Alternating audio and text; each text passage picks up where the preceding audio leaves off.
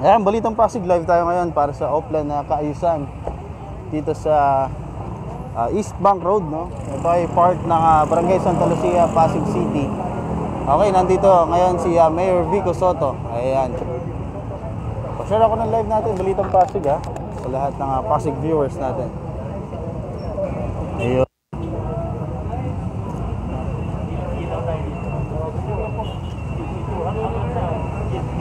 Layo tayo ng konti sa kanya.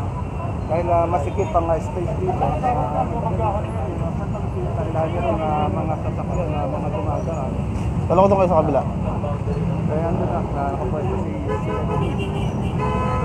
Ayan po, ang ating punong lungsod, no? si ah, Mayor Vico Soto. Uh, siya yung uh, mamumuna dun sa Pailaw as usual. No? Andito tayo ngayon sa may East Bank Road. Ah, tapat lang ito ng ah, Soldiers Village. Okay?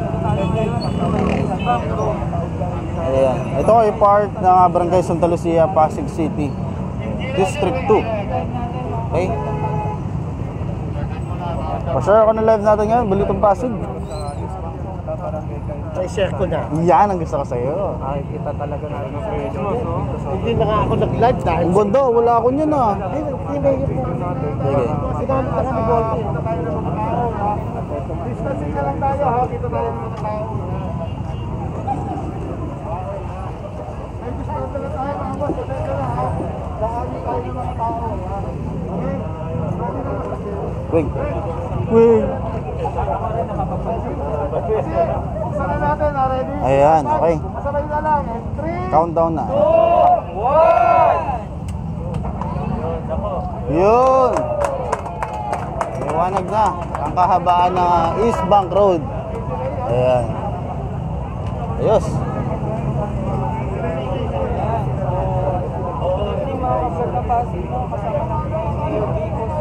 Ayan, kasama natin ngayon si Mayor Vico Soto dito sa may East Bank Road. Tapat ito ng ah, Soldiers Village. No, itong East Bank Road po ay part ng ah, Barangay Santa Lucia, Pasig City. Okay? Andito rin si uh, Consi Kin Cruz. Si Consi Kin Cruz ng Barangay Manggahan, Pasig City. Andito rin si uh, Consi Maro Martires ng Barangay Santa Lucia, Pasig City.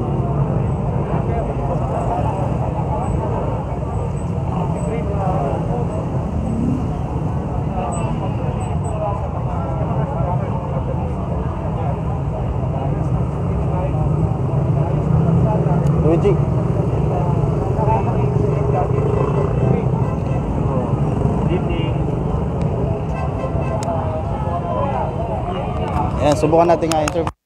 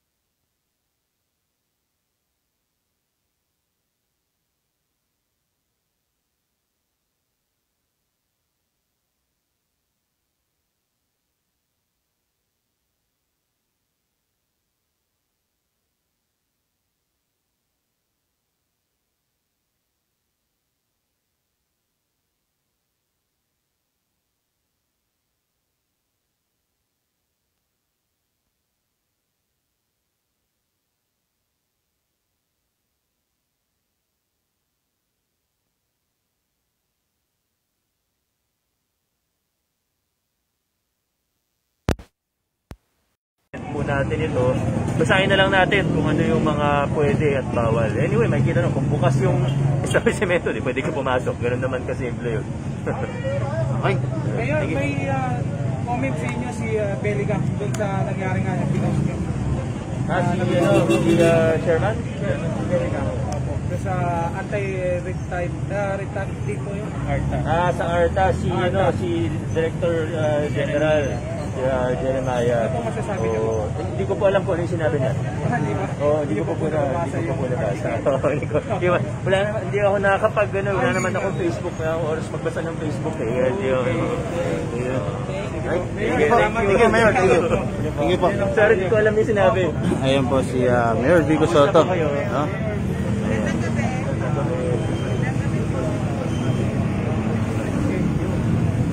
Ayan. Kung hindi ka problema pa ako sa interview, wala ko.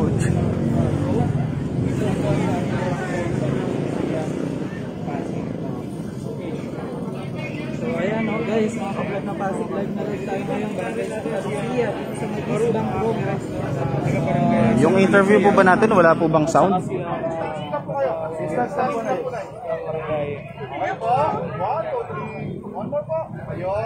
Florina Gindiano. Shout out. Carmelina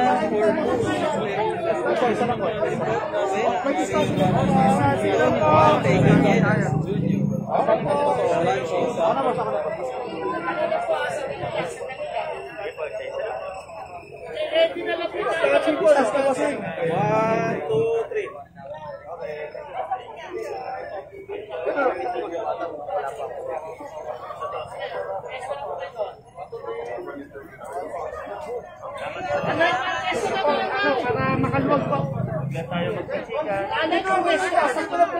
So ayan no, na pinagbibigyan naman ni Mayor Vico Soto yung mga na gusto magpakuha ng litrato sa kanya. Yun nga lang, syempre, pinapaalalahanan rin na kailangan na i-observe pa rin natin yung social or physical distancing. Matanong ko, very accommodating naman ang Mayor Vico Soto.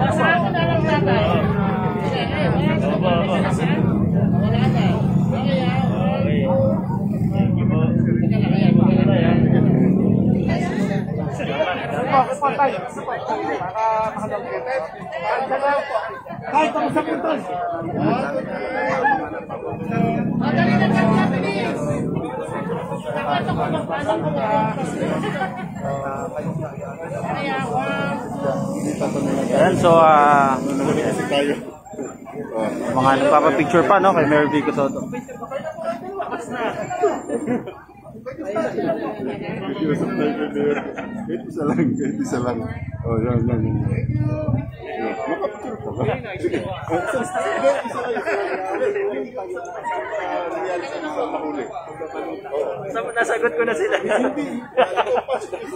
Yeah, biro lang, biro lang. naman, um, waiting tayo sa final report ng kapulisan natin. Ah, nasampahan na rin ng kaso yung ano eh. Hindi ko nga masabi na fixer eh. Kasi ang fixer, pinifix mo, dapat maayos, di ba? Eh, yung mga pirma dun sa CFEI, peke. Na lang ko. Yes, yung yung certificate of final electrical inspection uh, CFEI natin. Peke yun eh. So, baka, ano, ah, baka scammer lang talaga yun. Pero, in, ano pa rin, under investigation pa rin. At kung meron namang katibayan na may ah, empleyado na involved dito, kasama yun sa kaso. Pero sa ngayon, wala pang ebidensya eh. Ang malinaw, may scammer, nahuli yung scammer, nasampahan na ng kaso yung scammer. At magandang balita po yan. Kaya maging maingat tayo. Pag may mga kailangan tayo ilakad na papel, tumaan tayo sa tamang proseso. Tandaan po natin, walang scammer kung walang magpapaloko. Walang fixer kung walang ah, walang gusto mag-shortcut. Kung walang kliyente, kung walang gusto mag-shortcut, dumaan tayo sa tamang proseso. Kung may mali sa proseso, kung kunyari 5 days dapat yan, umabot na ng 10 days, sumbong nyo ng maayos. Gagawa natin ang action yan. Pero wag tayo matukso na shortcut, maghanap ng fixer, maghanap ng mag-aayos, doon tayo magkakaproblema. Matagal na daw yun dun. Ah, nawala, tapos bumalik ulit. Sabi ni Kutsi, Buboy at tapos Ah, ah, alamin natin, ah, alamin natin. Engineer, alamin engineer. Oh, salamat. Thank you, thank you, thank you. Ay, Thank you, Don Maro. Pinagbigyan. Pinagbigyan tayo ni Mayor ng interview sa Yan. sa update sa nahuling pizza. Kaya natin ang interview din. uh, Interview na si... Hindi pa, hindi pa. Hindi pa. Andito si uh, Consi Maro Martires, no andito rin pala si Consigil. Oo. Ayun, ayun, ayun. Ano masasabi mo at uh, mai- maliwanag na dito? Siyempre, dagdag seguridad po namin dito sa Barangay Santa Lucia. Yes, oh. natin itong East Bank Road, is National Road, ay mabilis ang patakbo ng mga sasakyan dito. Yes. oh. So, kung mas maliwanag, mas matideter natin. Pero pag increment dito, madalas rin po nangyayari. Often nangyayari. So, Oh. sana by the help of ganito kaliwanag ng ilaw, ano? Yes, yes. mabawasan or maditer po natin. Makadeter ng crime. Ayun, salamat. Andito rin si Consigil. Oo, nagsabi ang mga, mga followers namin na mu- mukhang kambal daw kayo. Ah, oo, ma- maganda naman hong kasama ho si Kagawan Maro kasi alam Yes. ninyo na serbisyo talaga yung Oo. inuuna ho niya. Pati magkalapit ho kasing barangay ho namin. Ah, sa bagay. Meron hong parte rin ho ng East Bank na ah, parte rin ho ng Mangga. Manggahan. So ito po ay almost 5 kilometers po yung pinailawan po ngayon. Okay. Consider, ano masabi naman sa pailaw natin? Na, ayan, ang liwa-liwanag na nga. Um, ito hong pailaw na to ay hindi lang ho basta-bastang pailaw. Ito po ay LED lights ho yung mga nilalagay ho dito. So, ibig sabihin ho, mas matipid, ah, energy saving po siya. Um, yung 250 na watts na nakalagay po dyan dati, pinalitan na po siya ng 100 ngayon. So, yung computation po ng binabayaran po ng gobyerno po natin sa kuryente dati ay mas nakakatipid po halos po kalahati. Kung nakakatipid po tayo ng kalahati, mas madadivert po natin tong pondo na to para po makatulong pa po sa mga ibang pangangailangan ng mga basi. Yes po. Thank you, Consider. Salamat, salamat. Yes po. Consigil Cruz. Ayun. Okay. Nandito rin po si Kagawad, uh, uh, Henry Mission, pati si Kagawad, Roy Ombro. Kanina ho, nandito rin si Kapitan Popoy Puna. Ayun, okay. Andito si ah, Sir Volta de Los Santos, no? Ayan. Ayun, yun, yun. Oh, sir. Ay, na- ganda lang mas mo, ah. Nawawala. Ang nagbibigay kuryente. Kidlat. Uh, dito, sir? Eh, ito naman kasama talaga sa plano natin. Sabi natin, paliliwanagin ng, uh, ng uh, syudad ng Pasig ang uh, buong uh, uh, Pasig City. Ito na yun, kasama na yun. Mahigit 60 na, ano, no, na, na mga poste LED na po. So, maliwanag na po sa Barangay Santa Lucia. Sir, paki-update kami sa uh, prangkisa ng uh, Toro. Yun, sa prangkisa kanina, bali nakakailan. Nakaka... Pito na ano na po kami, no, na toda na nabibigyan ng prangkisa. Bukas meron po uling pito. No, ah medyo mahaba pa, malayo pa. 1,800 po yan. Nasa 200 pa lang po kami. Kaya nagbabala kami, kahit Sabado at Linggo po, eh, magtatrabaho po kami para lang ah, ah, finally may award na po yung prangkisang matagal na hinihintay po ng ah, maraming tricycle drivers po. Okay. Maraming salamat po. Thank you, thank you, thank you, thank you. Tatanong tayo dito. Okay, ayan, Balitang Pasig. Ako po ang inyong host si Jay Cho. To God be the glory. Balitang may puso, Balitang Pasig.